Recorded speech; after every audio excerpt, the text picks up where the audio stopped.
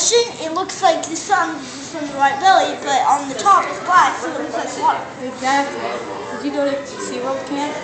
No. No? Nope, never been. You're just a smart little fella. I'm bigger than you. Are you guys brothers, cousins? Cousins. Cousins. Cousins. My mom, his mom, and sister, and my sister are somewhere else. Because it's not actually an actual lake. Dummy egg, exactly. But this is the same weight and the same size and the same color as a real emperor egg.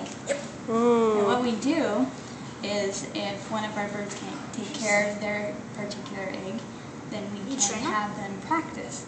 And we can use this egg in place and take their egg and put it in an incubation area or room so that that bird can grow up and be healthy and be a part of cool. our collection. Just there was a real on No, it's not, but you can feel it just how heavy it is. Is that about the same weight then too? Yep. Kind of heavy. it- It's like so that they don't know the difference of you know, I can lift an emperor.